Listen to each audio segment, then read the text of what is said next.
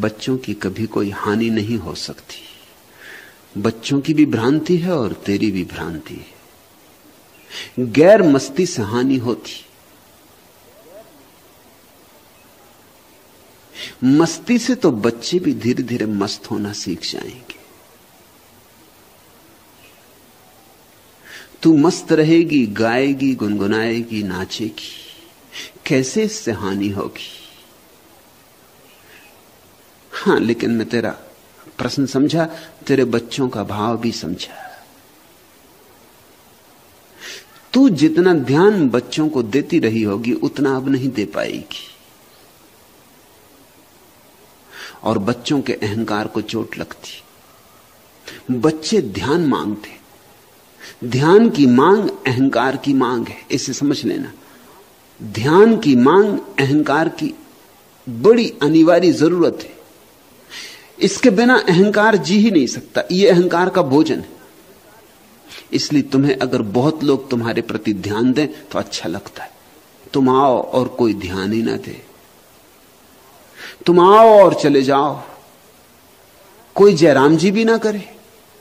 राह से गुजरो और कोई देखे भी ना तुम्हारी तरफ़। आदमी तो आदमी, कुत्ते भी ना भोंके। तो तुम बड़े उदास हो जाओगे। तुम बड़े हताश हो जाओगे कि हुआ क्या है? कुछ तो हो। इसलिए तो लोग कहते हैं कि अगर नाम ना हो तो कोई हर्ज नहीं, बदनामी हो जाए, मगर कुछ तो हो। बदनामी हो, भी होगी तो कुछ नाम तो होगा। लोग चर्चा तो करेंगे।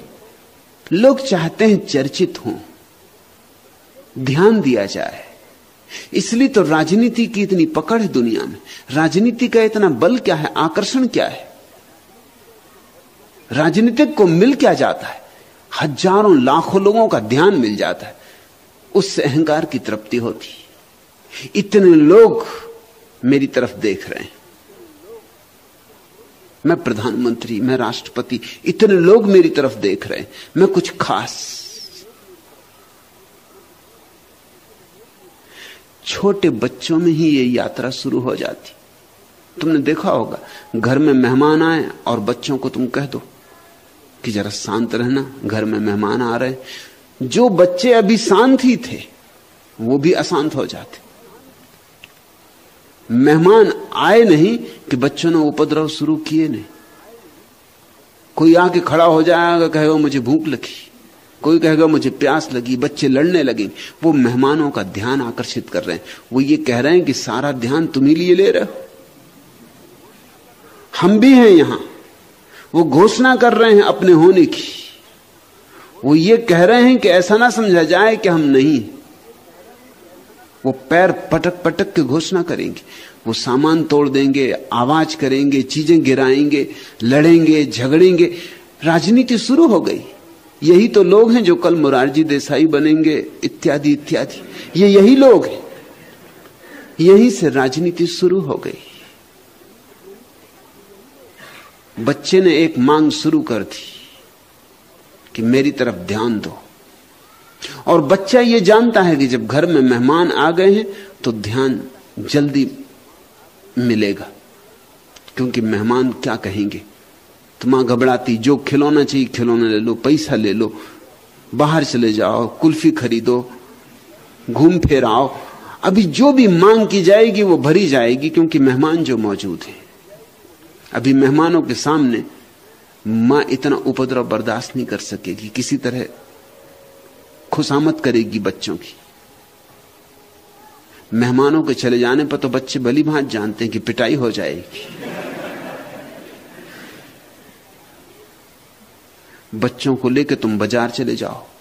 वो सड़क पर अड़के खड़े हो जाएँगे जो घर में कभी नहीं अड़े थे। कि यह तो खरीदना ही है। वो जानते हैं कि अभी बाज़ार है, भीड़ है। यहाँ माँ के अहंकार को या पिता के अहंकार को भी वो दांव पे लगा रहे हैं, वो ये कह रहे हैं कि अब तुम्हें भी अपना अहंकार बचाना हो तो खरीद ही लो, नहीं तो लोग क्या कहेंगे? इतने लोग ध्यान दे रहे हैं। तुम बच्चे को दुकान पर ले जाओ, दुकानदार तुमसे भी ज़्यादा ध्यान बच्चे को देता है। क्योंकि बच्चा अगर लेने को राज़ी हो गया तो तुम्हारी प्रतिष्ठा दांव पर है। तुम भी अपना अहंकार बचाने में लगे हो, बच्चा भी अपना अहंकार बचाने में लगा है। छोटे छोटे बच्चों के भीतर भी वही रोग पैदा हो जाता है जो बड़े होकर बड़ा भयंकर रूप लेगा। तो स्वभावता वीणा अगर तू मस्त रहेगी, नाचेगी, गाएगी, गुनगुनाएगी तो बच्चों को ऐसा लगेगा उन पर ध्यान नहीं दिया जा रहा। लेकिन इससे हानि नहीं हो रही, लाभ हो रहा है। तेरे बच्चे राजनीतिक नहीं बनेंगे। उनके अहंकार की तृप्ति उनका हित नहीं। अहंकार की तृप्ति ऐसी है जैसे कोई खाज को खुजला है। खाज को खुजलाने में पहले तो तृप्ति मालूम होती, नहीं तो कोई खुजलाए ही क्यों? बड़ी मिठास लगती खुजलाने में। बड़ा मीठा मीठा रस आता, लेकिन फिर पीड़ा होती, फिर लहू निकल आता। फिर चमड़ी छिल गई। अब दर्द होता है। हर बार तुमने खुजलाया है, खाज को हर बार दर्द पाया है। फिर भी जब खाज होगी, फिर खुजलाने का मन होगा। अहंकार खाज जैसा है। उसको खुजलाने से पहले तो मिठास मिलती। पीछे बहुत कष्ट होता है। इसलिए तेरे बच्चों को अभी शुरू शुरू में तो कष्ट होगा तेरी मस्ती से, क्योंकि उनकी तरफ़ ध्यान कम हो जाएगा। लेकिन अंततः हानि नहीं होगी। जरा भी सोचना मत कि अन्याय हो रहा है। न्याय हो रहा है। धीरे धीरे बच्चे भी देखेंगे कि तुझे कुछ मिल गया है। धीरे धीरे उन्हें भी समझ में आएगा और बच्चों की समझ बहुत साफ़ होती, क्योंकि निर्दोष होती। अभी आँखों पर पर्दे नहीं होते। अभी सिद्धांतों का जाल नहीं होता। अभी शास्त्रों की गर्द नहीं होती। अभी बच्चों का परिप्रेक्ष्य बिल्कुल शुद्ध होता है। अभी उनकी आँख सीधा सीधा देखती, अभी वे इर्छे तिरछे नहीं जाते।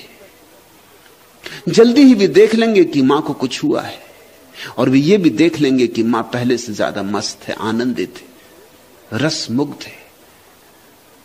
वे भी आतुर होंगे, वे भी इसी की तलाश से भरेंगे।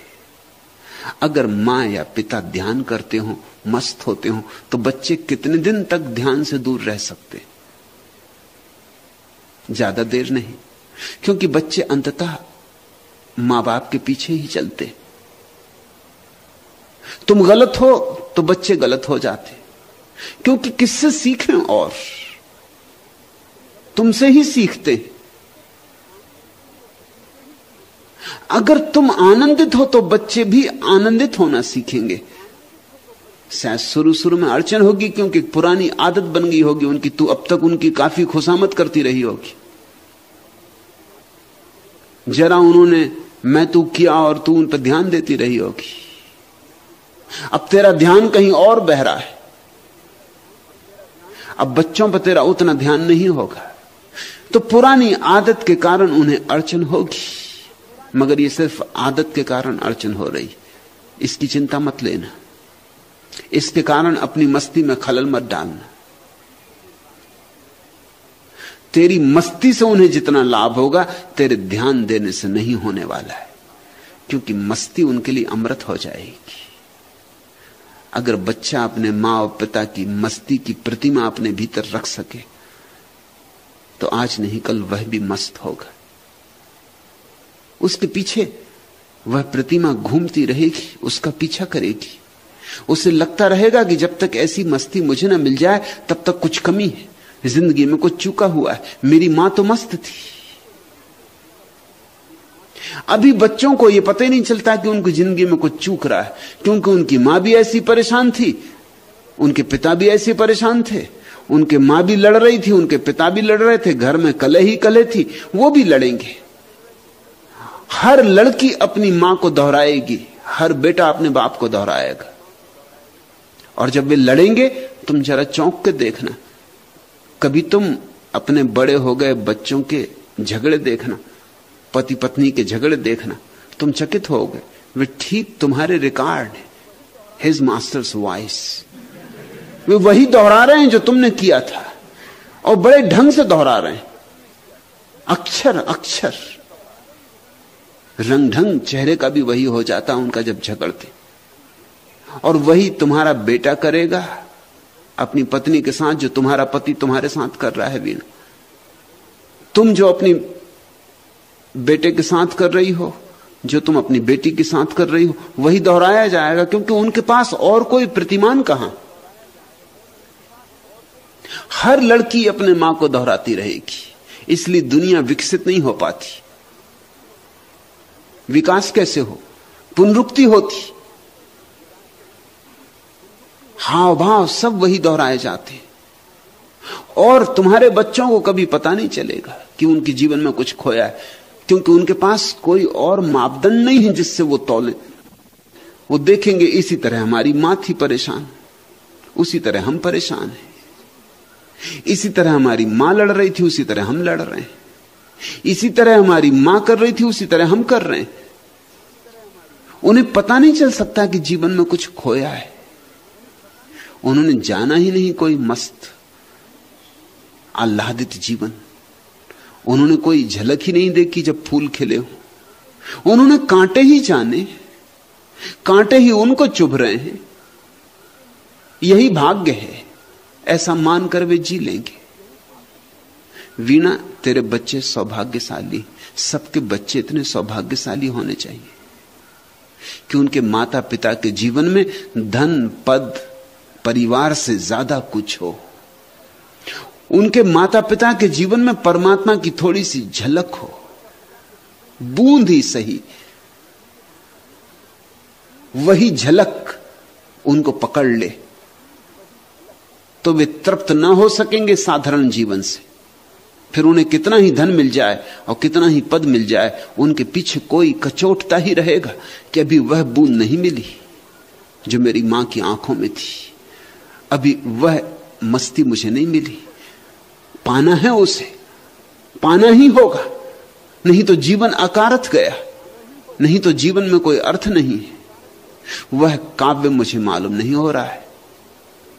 तो ज़रूर कहीं कोई कमी रह गई। कोई तलाश करनी है, कोई खोज करनी।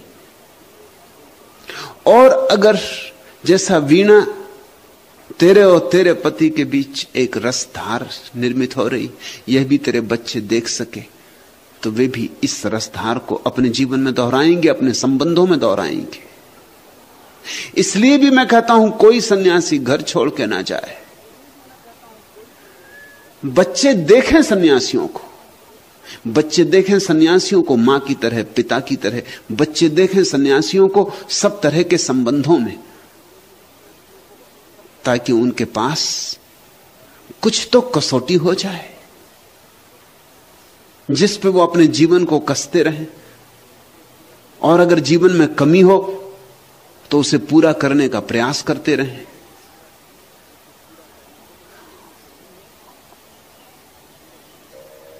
तेरा भाव मैं समझा भी ना। तुझे लगता होगा अन्याय हो रहा है क्योंकि बच्चे ज़ोर शोर कर रहे होंगे इस बात पे कि हमारे साथ अन्याय हो रहा है। हम पर उतना ध्यान नहीं दिया जा रहा है। जैसी तू फ़िक्र करती थी कल तक उनकी कि सब बटन ठीक से लगे कि नहीं, और बिस्तर पे कोई सलवट तो नहीं है रात।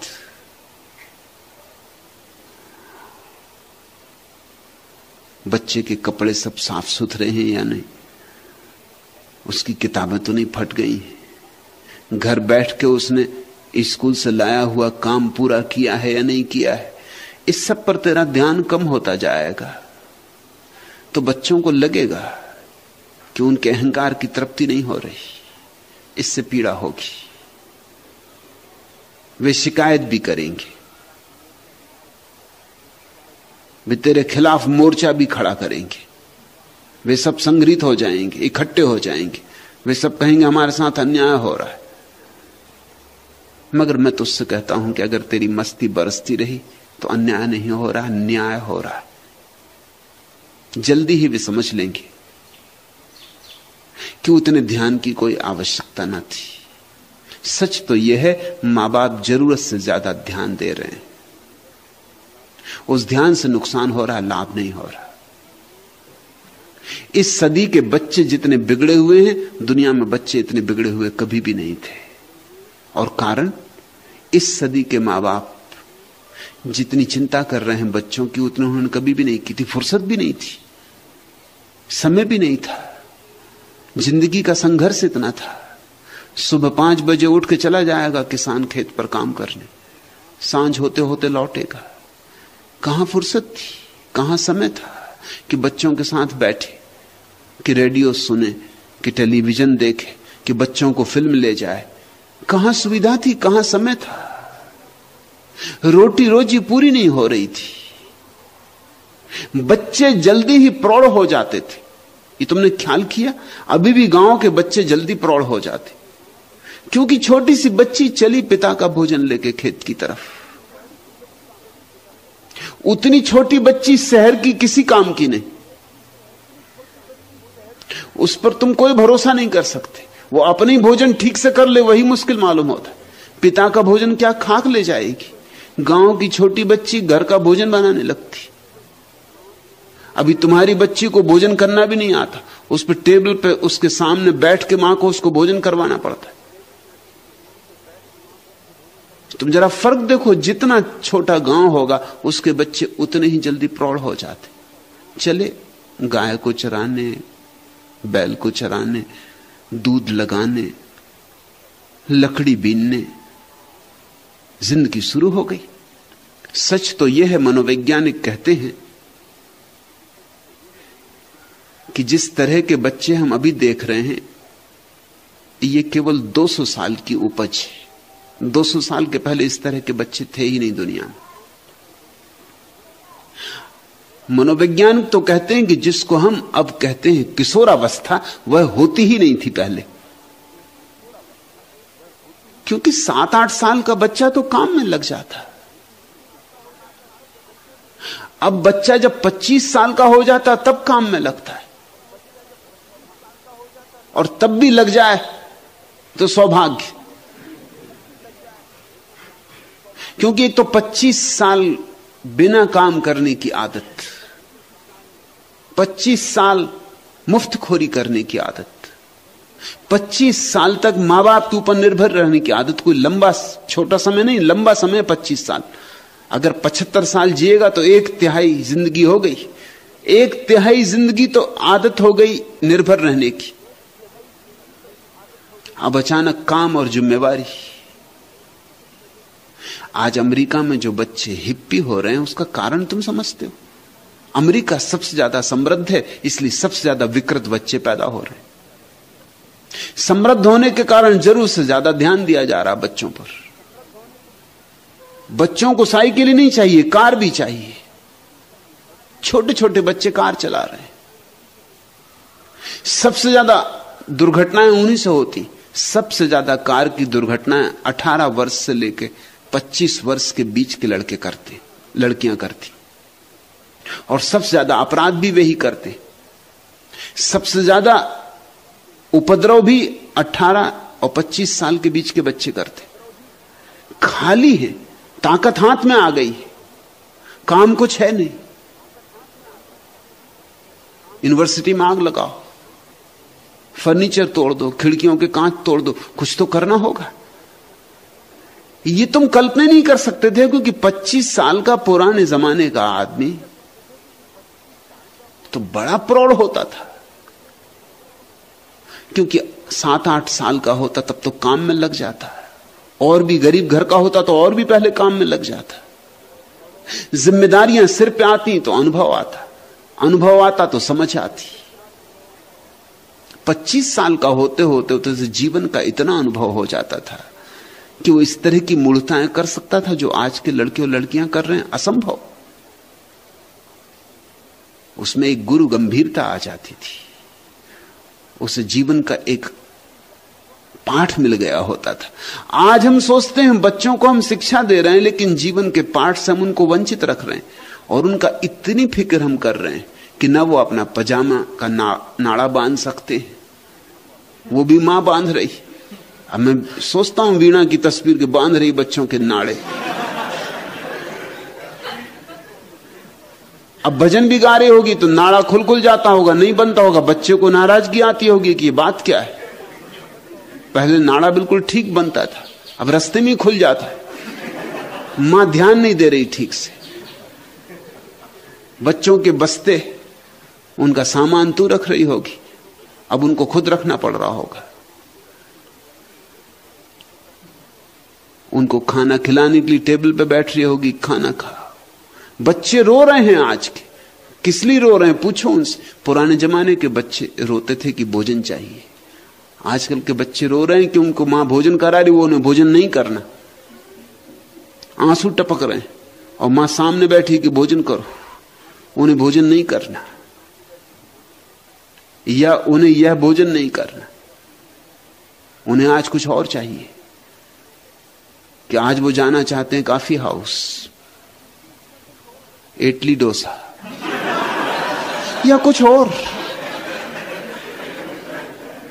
उन पर ध्यान, उनको 24 घंटे ध्यान चाहिए। और इस ध्यान से कुछ लाभ नहीं होने वाला उनको।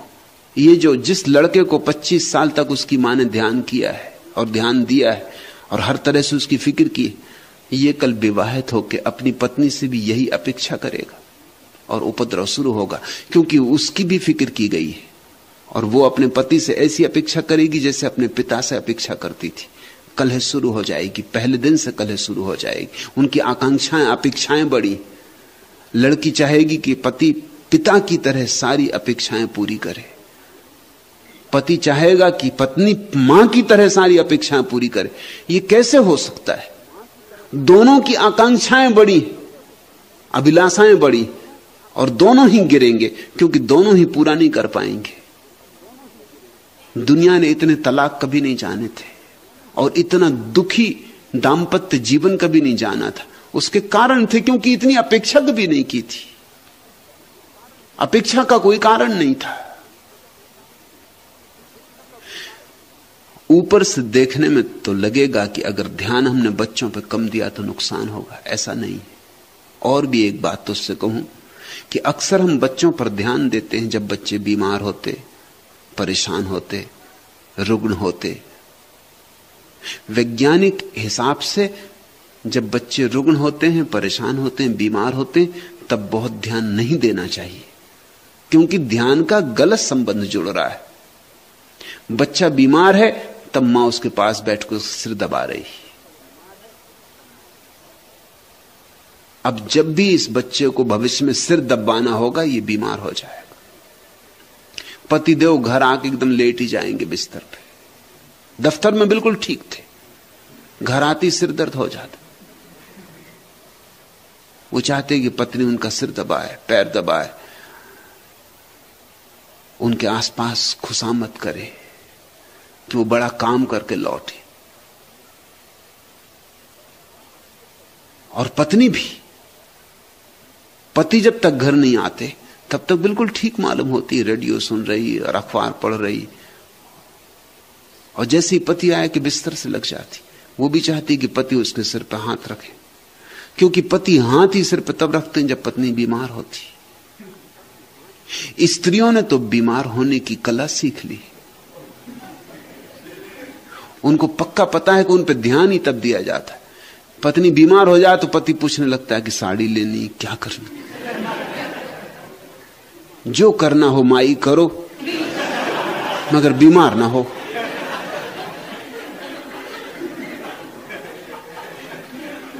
पत्नी भी जानती कि जब बीमार हो तभी पति ध्यान देता, नहीं तो पति अपना अखबार पढ़ता ध्यान देने की फुर्सत कहाँ है? वो आती से अपने पैर फैला के अखबार की ओर में हो जाता। अखबार ओट है। वो बचने का उपाय है। पति आते से अखबार खोल लेता है। पत्नी इत्यादि सब उस तरफ़ छूट गए। झंझट मिठी अब वो एक ही अखबार को कई दफे पढ़ता। मैं एक घर में मेहमान था। मैंने देखा तो वो सज्जन सुबह भी उसी अखबार को पढ़ रहे दोपहर भी उसी को पढ़ रहे शाम को भी जब पढ़ने लगे, मैंने कहा, सुनो, तुम शुरू से लेकर आखिर तक कई बार पढ़ चुके। वो भी थोड़े चौंके। एकदम उनको उन्होंने कहा, आप ठीक कहते मगर ये मेरी रोज की आदत, क्योंकि यही बचने का उपाय है। मैं अखबार पढ़ता रहता हूँ, पत्नी कुछ भी कहती तो मैं ऐसा दिखाता रहता हूँ, मैं सुन ही नहीं रहा हूँ। क्योंकि सुनो कि झंझट, सुना कि जेब पे हमला। बहरे हो जाना पड़ता है। यह अखबार बड़ी सुविधा है। इसमें ऐसा लगा रहता है, पत्नी समझती मैं अखबार पढ़ रहा हूँ। बच्चों पर जब वे रुग्ण हो तो उनकी सेवा करना, लेकिन ध्यान मत देना।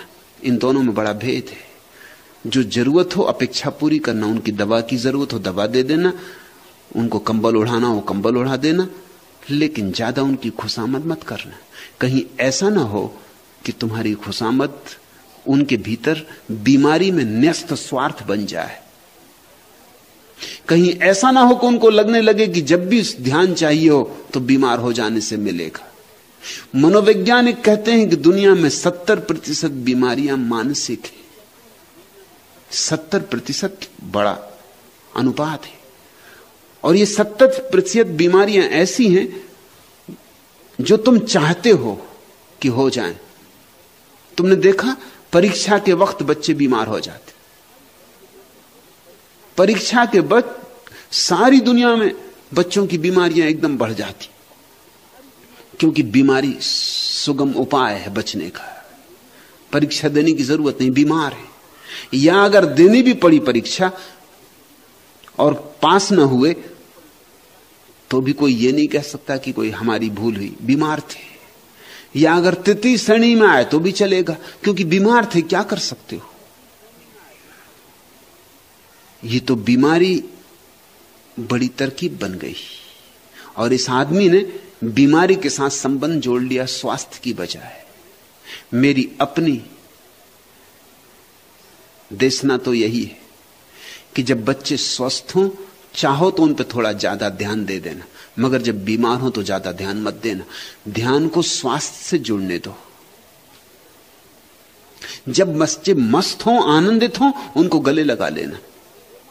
लेकिन जब बीमार हो तब कम्बल कर उनको सुला देना, ये कठोर मालूम पड़ेगा। ऊपर से तो कठोर साफ़ ही लग रहा है, लगेगा कि मैं कोई उल्टी बातें सिखा रहा हूँ।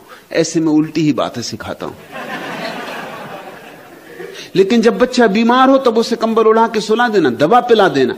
बस ऐसे जैसे नर्स करती। उस वक्त मात्र तो मत दिखलाना। सुविधा हो तो नर्स ही रख देना। वो ज़्यादा अच्छा। लेकिन जब बच्चा प्रसन्न हो, आनंदित हो तो कभी उसे गले भी लगाना, उसका हाथ में हाथ लेके नाचना भी। उसका स्वास्थ्य में रस जोड़ो, ताकि ज़िंदगी भर उसका रस स्वास्थ्य में रहे, बीमारी में ना हो जाए। दुनिया की सत्तर प्रतिशत बीमारियाँ समाप्त हो सकती हैं, अगर हम बच्चों का संबंध स्वास्थ्य से जोड़ दें। तो वीणा, तू चिंता मत कर। तू मस्त रहे। और इतना मैं जानता हूँ कि जो मस्ती ध्यान की तुझे आ रही है, वह मस्ती ऐसी नहीं है कि उपेक्षा कर सकेगी तू बच्चों की। क्योंकि ध्यान की मस्ती में प्रेम बढ़ता है, घटता नहीं। इसलिए उपेक्षा तो होने ही वाली नहीं। हाँ, जो व्यर्थ की चिंता थी वो कट जाएगी। जो ज़रूरी है, वह निश्चित पूरा होता रहेगा। शायद तू जितना ध्यान देती तो उसमें से नब्बे प्रतिशत बेकार रहा हो, जो कि घातक था। और माँ बाप इतना ध्यान बच्चों की तरफ़ क्यों देते हैं, इसका भी तुमने कभी विचार किया? मनस्विद कहते हैं, अपराध के कारण। चौंकोगे तुम? माँ बाप को यह लगता रहता है कि बच्चों के लिए हमें जो करना चाहिए, हम नहीं कर पा रहे। इससे अपराध भाव पैदा होता है, गिल्ट पैदा होती। कि देखो, बगल के पड़ोसी ने तो बच्चे के लिए कार ले दी, और हमारा बच्चा अभी भी एक फर्टीचर साइकिल पे चल रहा है। हम नहीं कर पा रहे जो हमें करना चाहिए बेटे के लिए। तब क्या करें? तो कम से कम उसकी खुशामत तो कर ही सकते। उसकी, उसके ऊपर ज़्यादा ध्यान तो दे ही सकते। अतिशय रूप से उसकी चिंता तो कर ही सकते। इतना तो किया जा सकता है। यह पूर्ति है। लेकिन कोई इस तरह की पूर्ति से लाभ होने वाला नहीं है।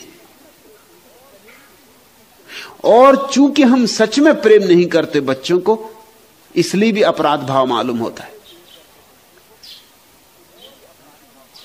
तो उस अपराध को छिपाने के लिए हम बच्चों के लिए खिलौने लाएँगे। आइसक्रीम लाएँगे, उन बच्चों को हम बिगाड़ेंगे। वो अपराध भाव से ही पैदा हो रही है बात। प्रेम बढ़ेगा तो अपराध भाव घट जाएगा। अपराध भाव घट जाएगा तो अपराध भाव के कारण जो जो काम तुम कर रहे थे वो बंद हो जाएँगे। तब जो करने योग्य है, जो ज़रूरी है, वह होगा।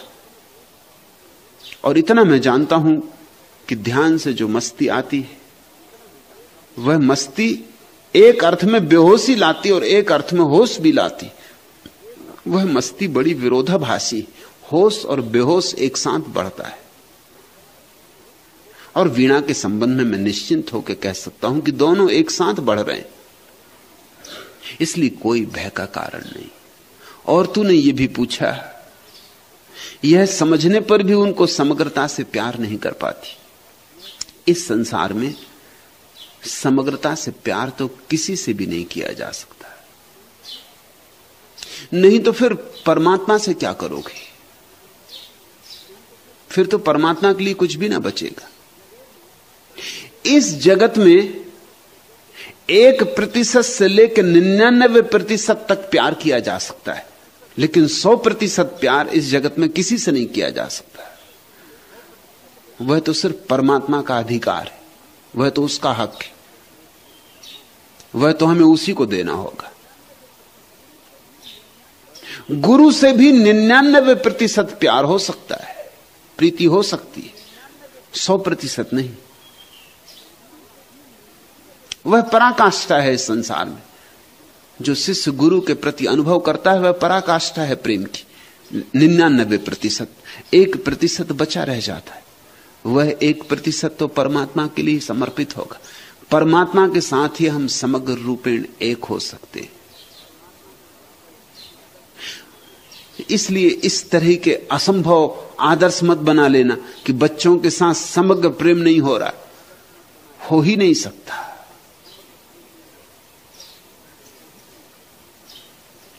और अच्छा है कि नहीं हो रहा है। क्यों? क्योंकि अगर माँ बच्चे को बहुत प्रेम करे, अति से प्रेम करे तो भी खतरा है। इसलिए प्रकृति ने बड़ा इंतज़ाम किया हुआ है।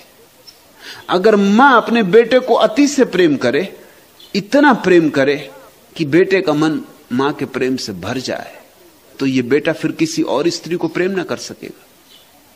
ज़रूरत ही ना रही, प्रयोजन ही ना रहा। माँ ने ही इसका मन भर दिया। मगर ये तो खतरा हो गया। इस बच्चे का जीवन तो उलझ गया। इस बच्चे का जीवन किसी माँ के प्रेम से ही समाप्त हो जाए तो इस बच्चे के जीवन में अपना प्रेम कभी पैदा ही नहीं होगा। इसलिए तुम देखते हो, माँ जितना बच्चे को प्रेम करती, बच्चा उतना प्रेम माँ को नहीं कर सकता। यह स्वाभाविक है, क्योंकि बच्चे को किसी और को प्रेम करना, आगे यात्रा जानी है जीवन की। पीछे नहीं जानी। इसलिए कोई माँ बाप यह अपेक्षा ना करें कि हम जितना प्रेम बच्चों को करते हैं, उतना ही बच्चे हमें करें। अगर उतना ही प्रेम बच्चे तुम्हें करेंगे तो फिर अपने बच्चों को क्या करेंगे? तुम अपने बच्चों को प्रेम कर रहे हो, कभी तुमने ख्याल किया कि इतना प्रेम तुमने अपने माँ बाप को किया था? तब तुम्हें समझ में आ जाएगी बात। वीणा अपने बच्चों को प्रेम कर रही, इतना प्रेम कभी अपने माँ बाप को किया था? इतना प्रेम। लेकिन तुम्हारे माँ बाप ने इतना ही प्रेम तुम्हें किया था। ये तो गंगा आगे बहेगी। माँ बाप बच्चों को करेंगे, बच्चे अपने बच्चों को करेंगे। उनके बच्चे उनके बच्चों को करेंगे, ऐसे जीवन आगे जाएगा। नहीं तो पीछे की तरफ़ जीवन जाने लगे तो घातक हो जाएगा। कभी कभी ऐसी रुग्ण दशा हो जाती माँ इतना प्रेम करती है बेटे को कि बेटा अपराध अनुभव करने लगता है, किसी और स्त्री के प्रेम में पड़ना मतलब माँ के साथ गद्दारी ऐसी माताएँ हैं जो समझती हैं कि गद्दारी, इसलिए तो सास और बहू में कलह बनी रहती। सास बहू की कलह सारी दुनिया में चलती। उस कलह के पीछे बड़े कारण वह सामान्य मामला नहीं वो किसी एक स्त्री का मामला नहीं है। वो सारी सास और बहुओं का मामला है। क्यों? क्योंकि सास ने अपने बेटे को प्रेम किया था, इतना प्रेम किया था। और आज ये बेटा गद्दार हो गया। ये आज उसकी नहीं सुनता, एक अजनबी औरत की सुनता है। माँ जिस बेटे को बनाने में 25 साल लगाती है, बुद्धिमान बनाने में 25 साल, उसको कोई स्त्री पाँच मिनट में बुद्धू बना देती अब माँ को चोट ना लगे तो और क्या हो? और ये सज्जन चले। ये अपनी पत्नी की सुनते हैं आप। अगर माँ और पत्नी के बीच विरोध हो तो ये पत्नी की सुनेंगे। पत्नी की सुननी भी चाहिए, क्योंकि इसी तरह जीवन आगे जाएगा। इसमें कुछ अनहोना नहीं हो रहा है, लेकिन माँ की अपेक्षा गलत है। माँ की आकांक्षा गलत है। माँ बच्चे को बुरी तरह घेर लेना चाहती। कुछ बच्चे घिर जाते जो बच्चे अपने माँ के प्रति बहुत प्रेम से घिर जाते, वो किसी स्त्री को प्रेम नहीं कर पाते। उनका जीवन बड़ा उदास हो जाता। और भी कई तरह के उपद्रव उनके जीवन में होंगे। अगर वो किसी स्त्री के प्रेम में किसी तरह अपने को डाल भी देंगे तो भी उनकी माँ सदा बीच में खड़ी रहेगी। और वो सदा तोलते रहेंगे कि ये स्त्री उनकी माँ के साथ मेल खाती या नहीं। कौन स्त्री उनकी माँ के साथ मेल खाएगी? उनकी माँ जैसी और कोई स्त्री दुनिया में है भी नहीं, हो भी नहीं सकती।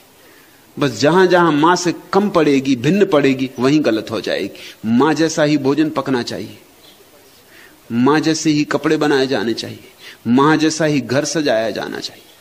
ये कौन स्त्री करेगी? कैसे करेगी? और ये अपेक्षाएँ पूरी नहीं होती, ये भीतरी अपेक्षाएँ तो फिर कलह। और संघर्ष।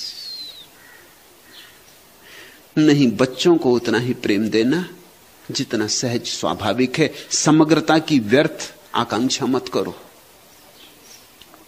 स्वाभाविक का भाव रखो, समग्र का नहीं।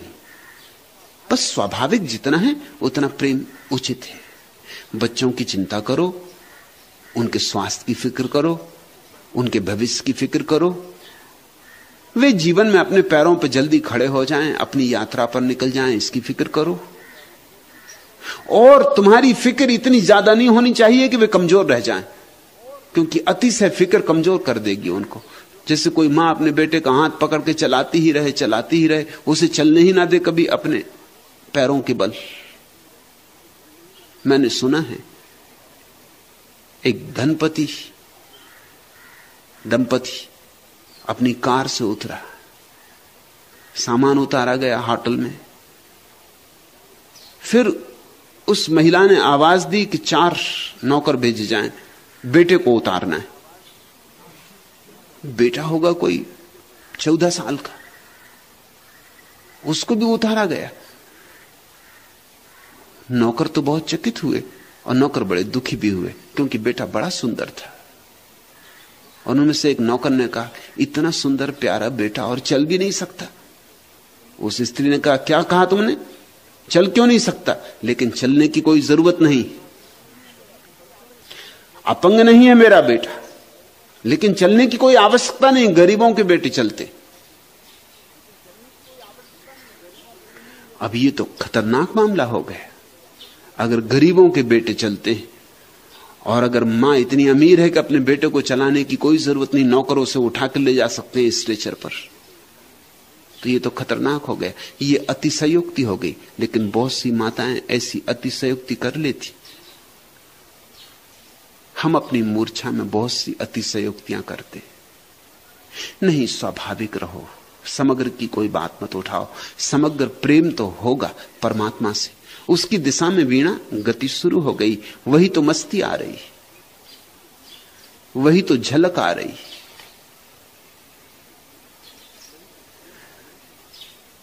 लेकिन मेरी बातों का अर्थ ऐसा मत समझ लेना कि मैं कह रहा हूँ, बच्चों के प्रति कठोर हो जाओ। जीवन में बड़ा संतुलन रखना ज़रूरी है। न तो अति प्रेम, न उपेक्षा। मध्य। और जो मध्य को खोज लेता है, उसे जीवन की कुंजी मिल जाती। जैसे नट चलता है रस्सी पर, ठीक मध्य में संभाल के अपने को। कभी थोड़ा बायां झुकता, कभी थोड़ा दायां, लेकिन दायां झुकता है इसलिए कि बाएँ गिर ना जाए। बाएँ झुकता है इसलिए कि दाएँ गिर ना जाए। बस झुक के अपने संतुलन को बना लेता है और बीच में चलता जाता है। ऐसे ही जीवन में प्रत्येक व्यक्ति को मध्य को संभालना चाहिए। बुद्ध ने कहा है, मध्यम निकाह है बीच में जो चलना सीख ले, वह सत्य तक पहुँच जाता है। जीवन की हर प्रक्रिया में बीच में चलना सीखो। ठीक मध्य में होना स्वर्ण सूत्र है। न तो अति प्रेम में पड़ जाना, क्योंकि अति मिठास सड़ान पैदा कर देगी न अति उदास हो जाना, क्योंकि अति कड़वाहट हानिकर हो जाएगी, हिंसा हो जाएगी। और यह संतुलन प्रत्येक व्यक्ति को अपने ही ढंग से खोजना होता है। इसके लिए कोई बंधे हुए सूत्र नहीं दिए जा सकते। मैं नहीं कह सकता कि ठीक बंधा हुआ ऐसा सूत्र, क्योंकि हर स्थिति में यह संतुलन अलग अलग होगा। किसी दिन बच्चा बीमार है, उस दिन थोड़ा बायां झुकना होगा। किसी दिन बच्चा प्रसन्न है, उस दिन थोड़ा दाया झुकना होगा। किसी दिन बच्चे की ज़रूरत कुछ और है, किसी दिन ज़रूरत नहीं है। प्रतिदिन प्रतिपल जरूरतें बदलती और जरूरतों के बदलने के साथ व्यक्ति को सम्यक रूपेण बदलते रहना चाहिए। इसको ही मैं सम्यक प्रेम कहता हूँ। इसका ही ध्यान रखो कि बच्चे का हित हो सके, कल्याण हो सके बच्चा अपने जीवन में अपने पैरों पर खड़ा हो, स्वतंत्र हो, व्यक्तित्ववान हो, आत्मवान हो, शांत हो, मस्त हो, परमात्मा का तलाशी हो। बस इतनी बातें ख्याल में रहें, इन्हीं को सूत्र मान के चलते चलते। न केवल बच्चों को तुम ठीक राह दे सकोगी, बच्चों को ठीक राह देते देते तुम्हें भी ठीक राह मिल जाएगी।